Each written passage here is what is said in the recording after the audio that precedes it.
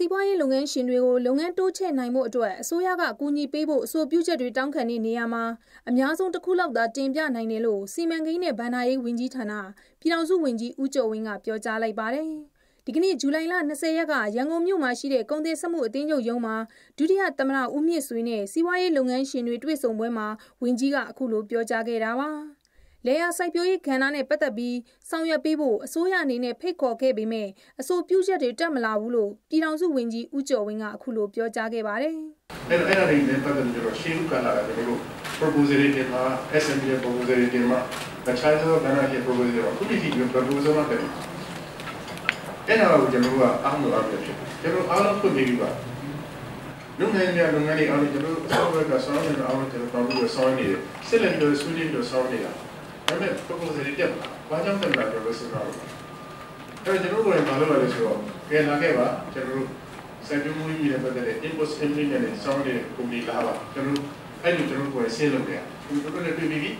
သူတို့ဘာရောက်နေလဲဘာလုပ်ချင်လဲကျွန်တော်အောင်ဆွေးနွေးပြီးတို့လည်းငွေချေးဖို့လုပ်ပြီးရေးပြီးမယ်ဘယ်လောက်ထိရေးပြီးတိုင်းတဲ့ပြည်နယ်အားလုံးမှာကျွန်တော်တို့ layer security ကိရိယာနဲ့ security ရာရောင်းဝယ်ဆိုပြီးကျွန်တော်ထပ်ဖို့တိုင်းတဲ့ပြည်နယ်အားလုံးကိုကျွန်တော်ဖွင့်မယ် တိုင်းဒေသကြီးပြည်နယ်ဆိုရတဲ့အောင်ကျွန်တော်ရေဦးစီစဉ်ထားပြီးအဲ့တော့ဒီကျွန်တော်ရှေ့ရောက်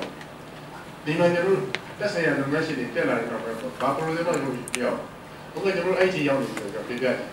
လက်ရှိအချိန်မှာစီးပွားရေးလုပ်ငန်းရှင်တွေကိုလေးစင်းတင်သွင်းရောင်းချနိုင်မှုအတွက်အဆိုပြုချက်တင်ဖို့ဖိတ်ခေါ်ခဲ့ပေမဲ့လုပ်ငန်းရှင်တဦးလောက်သာတင်ပြခဲ့တာတွေ့ရတယ်လို့ဝန်ကြီးကပြောကြားခဲ့ပါတယ်။ အလားတူတတိရန်စိုက်ပျိုးထုတ်လုပ်တင်ပို့နိုင်ရေးနဲ့ပန်းစိုက်ပျိုးထုတ်လုပ်တင်ပို့နိုင်ရေးကိစ္စတွေမှာလည်းစီးပွားရေးလုပ်ငန်းရှင်တွေအနေနဲ့တင်ပို့ထုတ်လုပ်နိုင်တဲ့အခြေအနေကိုတိုးမြင့်သွားဖို့အဆိုပြုချက်တောင်းခံထားပေမဲ့လည်းတကယ်လက်တွေ့မှာ6လကြာလာပေမဲ့လုပ်ငန်းရှင်တဦးပဲတင်ပြတာတွေ့ရတယ်လို့ဝန်ကြီးကထောက်ပြပြောကြားခဲ့ပါတယ်။ နိုင်ငံတော်ကအကောင့်ထွေဖော်မဲ့လုပ်ငန်းတွေကိုတော့တင်နာစနစ်နဲ့သွားမယ်ဆိုပေမဲ့လုပ်ငန်းရှင်တွေဘက်ကတော့လှုပ်ဆောင်ခြင်းနဲ့စစ်ကူးစိတ်တန်းနေနဲ့တင်ပြလာတဲ့လုပ်ငန်းတွေကိုလုတ်ကင်ခွင့်ရရှိအောင်ကူညီပေးသွားမယ်လို့လည်းဝန်ကြီးကဖိတ်ခေါ်ခဲ့ပါတယ်။ပြည်တွင်းစီးပွားရေးလုပ်ငန်းရှင်တဦးကတော့အစိုးရဘက်ကအဆိုပြုချက်တောင်းခံထားတဲ့ဆိုပေမဲ့အဆိုတင်ရမယ့်လုပ်ငန်းစဉ်ပိုင်းကိုတော့ရှင်းရှင်းလင်းလင်းပြောကြားတာမျိုးမရှိဘူးလို့ဆိုပါတယ်